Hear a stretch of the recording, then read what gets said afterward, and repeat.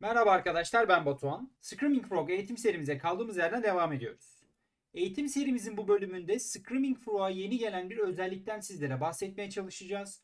Bu özelliğin adı görsel web kazıma ya da e, bizim Custom Extraction'da kullandığımız özelliğin bir geliştirilmiş hali.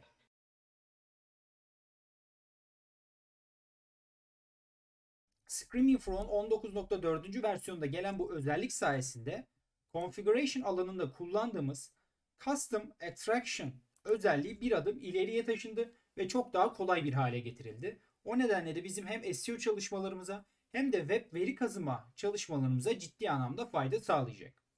Bunu gösterebilmek adına ilk olarak configuration alanından biraz önce de gördüğünüz gibi custom menüsüne giriş yapıyoruz. Custom menüsündeki custom extraction alanını açıyoruz. Custom Extraction alanını açtığımızda sağ tarafta add yani ekleme alanı bulunuyor. Buraya tıkladığımızda karşımıza gördüğünüz gibi XPath, regex ya da CSSPath seçimlerinden biri ile bir web sitesinden HTML üzerindeki veriyi çekebiliyoruz. Bu veriyi çekerken de HTML'in içerisindeki e, teksti, elementin direkt kendisini ya da value'yu çekmemiz mümkün.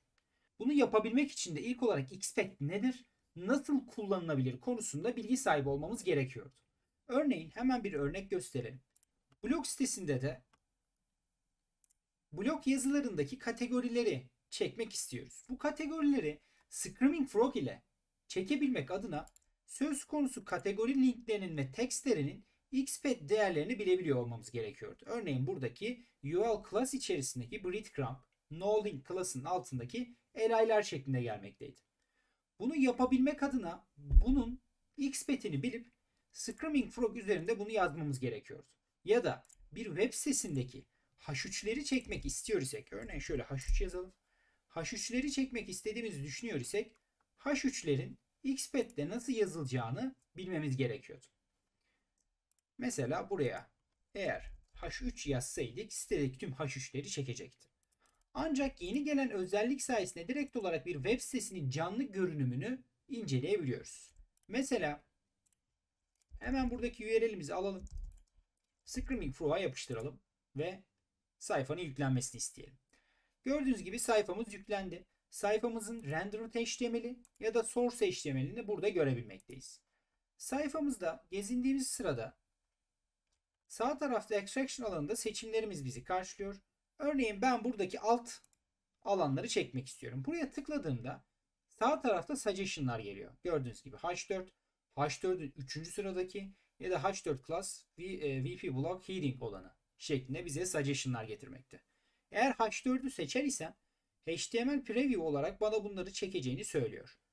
Source HTML'de de bunları çekebildiğini söylemekte. Bununla birlikte bir üsttekine tıklarsam bunun da H olduğunu gördüğünüz gibi söylüyor ve bunlarla ilgili çekebileceğim linklerin bu olduğunu bana iletiyor. Yukarıya biraz önce incelediğimiz breadcrumb'a gittiğimizde ise şu an tabi bunu göremiyoruz. Örneğin yazarı seçelim. Yazar alanını seçtiğimizde ise div class author date olarak geldiğini görebilmekteyiz ve yazarımızı bu şekilde seçebiliyoruz. Ya da son güncelleme alanına tıkladığımızda da author date span time şeklinde gelmekte. Mesela ben yazılarımdaki güncellik durumlarını WordPress sistemdeki yazıların güncellik durumlarını görmek istiyorum. Bu şekilde sadece Screaming Frog'a gelerek alanları seçip istediğim şekilde bunun betimlemesini yapabilmekteyim. OK diyorum. Gördüğünüz gibi direkt olarak XPath alanımı doldurdu. OK dedim. Daha sonrasında buraya domain adresimi gireceğim. Ve taramayı başlatıyorum.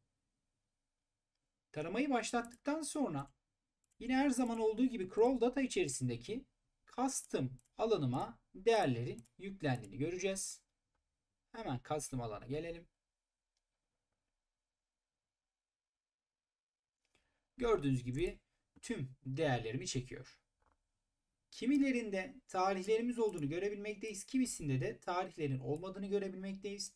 Bunun nedeni kimisi WordPress'te bir page konumunda, yani sayfa güncelleme tarihi o nedenle bulunmuyor. Kimisi ise direkt olarak blok metni. O nedenle güncelleme tarihlerini net bir şekilde alabilmekteyiz.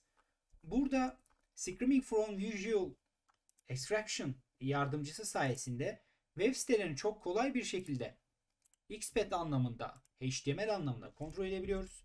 Ve kod bilgisi gerekmeden HTML bilgisini minimum düzeyde kullanarak web sitelerinden veri kazımayı hayata geçirebiliyoruz. Tabi şunu da belirtmekte fayda var. Bu özelliği kullanırken web sitelerinin hem rendered HTML'lerini hem de source HTML'lerini de kontrol etme fırsatına sahip oluyoruz.